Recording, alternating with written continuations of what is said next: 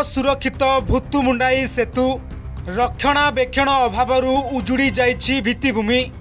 ଏ ହେଉଛି ଚଣ୍ଡିଖୋଲ ପାରାଦୀପ ଜାତୀୟ ରାଜପଥ। ଭୁତୁମୁଣ୍ଡାଇ ସେତୁର ବାସ୍ତବ ଚିତ୍ର। ଉଣେଇଶହ ଚଉରାନବେ ମସିହା ଓସିସି କମ୍ପାନୀ ତତ୍ତ୍ୱାବଧାନରେ ଏହି ସେତୁ ନିର୍ମାଣ କରାଯାଇଥିଲା। ସେହି ଦିନଠାରୁ ରକ୍ଷଣାବେକ୍ଷଣ ଅଭାବରୁ ସେତୁଟି ଭାଙ୍ଗି ତୁଟି ବିପଦ ସଂକୁଳ ଅବସ୍ଥାରେ ଝୁଲି ରହିଛି। ବ୍ରିଜ୍ର ବାଡ଼ ଭାଙ୍ଗି ପଡ଼ିଥିବା ବେଳେ ତଳପଟୁ କଂକ୍ରିଟ୍ ଝଡ଼ି ପଡ଼ିବା ସହ ପିଲର ଦବି ଯାଇଛି ଫଳରେ ବିପଦ ସଂକୁଳ ଅବସ୍ଥାରେ ଝୁଲି ରହିଛି ସେତୁ।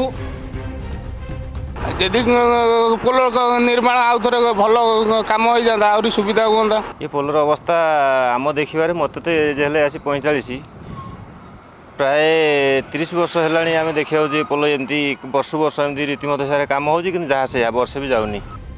ଦୁର୍ଘଟଣାର ପେଣ୍ଟସ୍ଥଳ ପାଲଟିଛି ଭୁତୁମୁଣ୍ଡାଇ ସେତୁ। ଦୁଇ ହଜାର ଉଣେଇଶରୁ ଦୁଇ ହଜାର ବାଇଶ ମସିହା ସୁଦ୍ଧା ଏହି ଅସୁରକ୍ଷିତ ସେତୁ ଉପରେ ଦୁର୍ଘଟଣାରେ ସତର ଜଣ ବାଇକ୍ ଆରୋହୀଙ୍କ ମୃତ୍ୟୁ ହୋଇଛି। ମାତ୍ର ସବୁ ଜାଣି ନିରବ ପ୍ରଶାସନ। ପ୍ରତିଦିନ ଏହି ରାସ୍ତା ଦେଇ ପାରାଦୀପକୁ ଯାତାୟାତ କରୁଛି ମାଲ ବୋଝେଇ ଟ୍ରକ୍। ଫଳରେ ବଢ଼ିବାରେ ଲାଗିଛି ସେତୁର ଦୁର୍ଦ୍ଦଶା।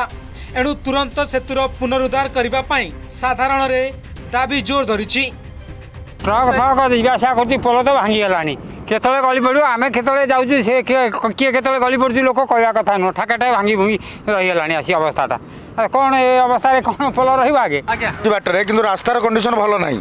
କିନ୍ତୁ ଟୁଲ୍ ଗେଟ୍ରେ ବହୁତ ଦିନକୁ ଦିନ ପଇସା ବଢ଼ି ଚାଲିଛି। ଆଉ ଦ୍ୱିତୀୟରେ ଏପଟେ ସେପଟେ ଟ୍ରକ୍ ଲାଇନ୍ ଜାମ୍ କରିଦେବାରୁ ବସ୍ ଯିବା ଆସିବା କରିବା ପାଇଁ ବହୁତ ଅସୁବିଧା ହେଉଛି। ଆଉ ବହୁତ ବିପଦପୂର୍ଣ୍ଣ ଅବସ୍ଥାରେ ହିଁ ଗତାଗତ ଯିବା ଆସିବା। ଜଗତସିଂହପୁର ଡିଷ୍ଟ୍ରିକ୍ଟ ବାଲା ବୁଝୁନାହାନ୍ତି ନା କେନ୍ଦ୍ରାପଡ଼ା ଡିଷ୍ଟ୍ରିକ୍ଟ ବାଲା ବି ବୁଝୁନାହାନ୍ତି? ଏ ଅବହେଳିତ ଅବସ୍ଥାରେ ଅଛି ଆଉ କହିବୁ କ'ଣ ଆମେ?